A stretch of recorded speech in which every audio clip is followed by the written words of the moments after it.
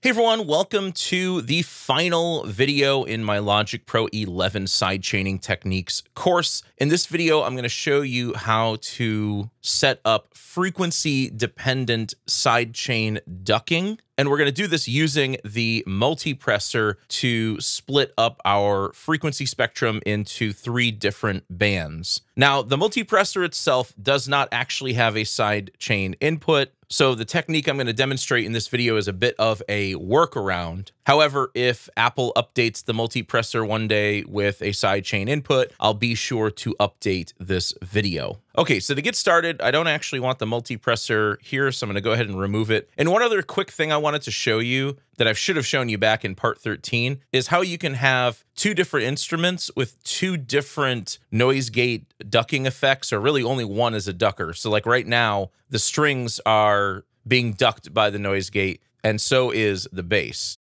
And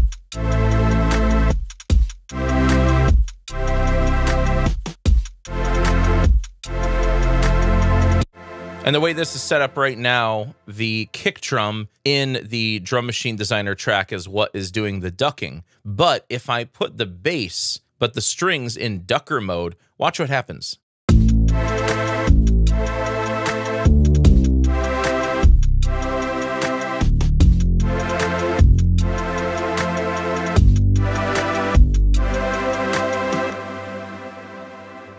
So here, the noise gate is triggering the bass to play. So we're not going to do anything else with the bass. I just wanted to show you that it's kind of a cool trick. And on the synth string pad, what we're going to do is we're going to temporarily bypass the gate that's on it. And we're going to create three aux tracks with three sends on the synth pad. And the reason for this is we want to break up this channel into three different frequency bands. And you could do this with multiple tracks if you wanted. If you have multiple instruments that you want affected by this frequency dependent ducking, you can totally do that. Okay, I'm just to set each of the send amounts to unity for now. And then I'll just rename each of these aux tracks low, mid, and high. I'm going to go ahead and bring these out into the tracks area and bring them up next to the synth string pad. And what I'm also going to do is I'm going to make each of these sends pre-fader sends. And the reason why we want these to be pre-fader sends is because we actually don't want to hear any of the audio signal coming from the track itself, the instrument track. So we're going to pull that volume level all the way down, but we're still going to hear the signal coming to these aux tracks.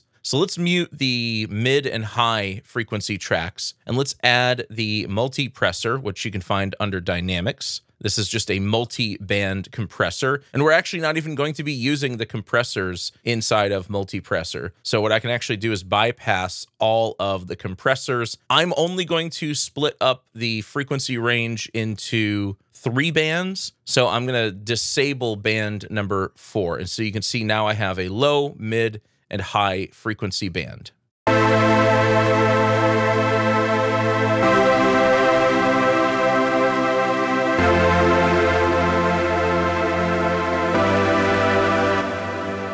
Okay, so let's determine where we want each of the bands to be. You can solo each of the bands and listen to them individually here.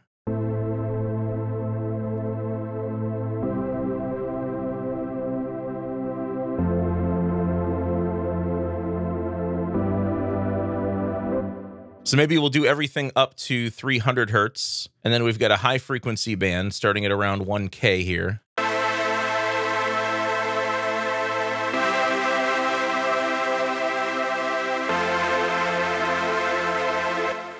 And then our mid frequency band.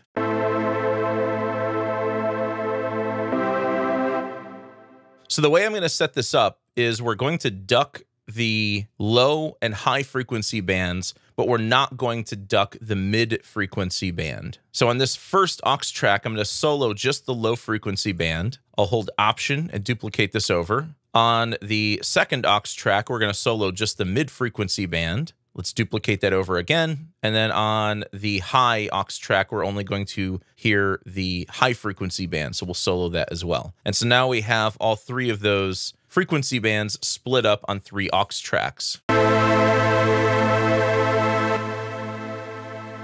So now what I'm going to do is I'm going to take this gate and I'm going to move it over to just affect the low band and I'll hold option and drag it over to the high band. So now the mid frequencies will not be ducked, but the high and low frequencies will be ducked.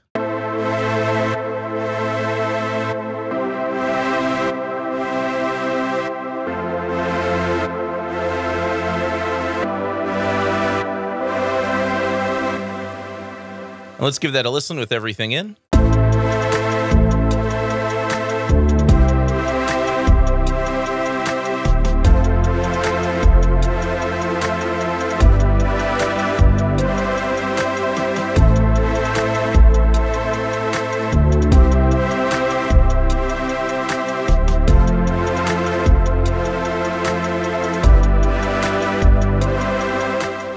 Now, you could take this a step further and add other effects on each of these individual aux tracks, or you can add different types of sidechain effects on these. So, for example, maybe on my mid frequency band, I want to throw the gate on here, but instead of using it as a ducker, we're going to use it as a gate. And instead of using the kick drum as our sidechain source, let's use one of the hi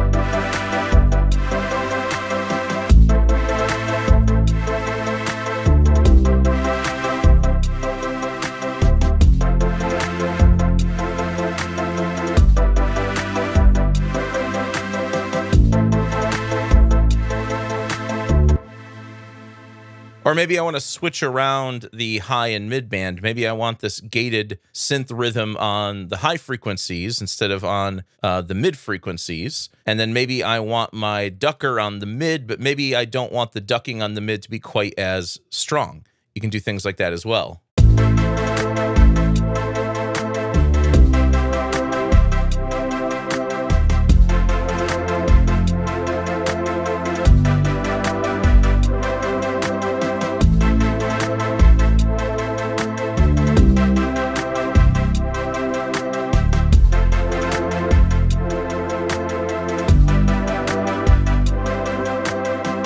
So that's how you can use the multipressor and noise gate in Logic Pro to create frequency dependent ducking effects. And you can use other sidechain effects as well. You can try blending this technique with literally any of the other plugins we used in this course. And you don't have to use three bands in multipressor. You could use two bands. You could use four bands. So try out this technique in your own compositions. I thoroughly hope you enjoyed this course. If you'd like to download all of the tutorials in this course ad free and get access to all of the demo projects I use throughout the course so you can practice along with me. You can purchase the course available at logicproguide.com. Thank you so much for the support. Thanks for watching, and I'll see you in the next one.